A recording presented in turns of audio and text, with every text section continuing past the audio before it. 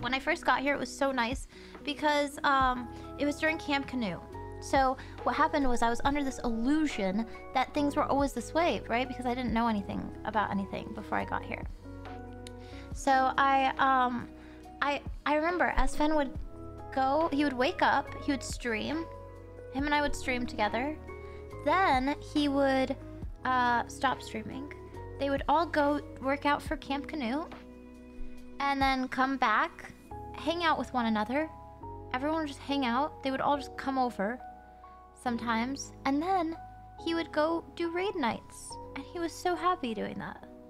And I, and I remember that was so nice. And it was like we all got time to hang out, whatever. And then when Camp Knut was over, everyone was just, well,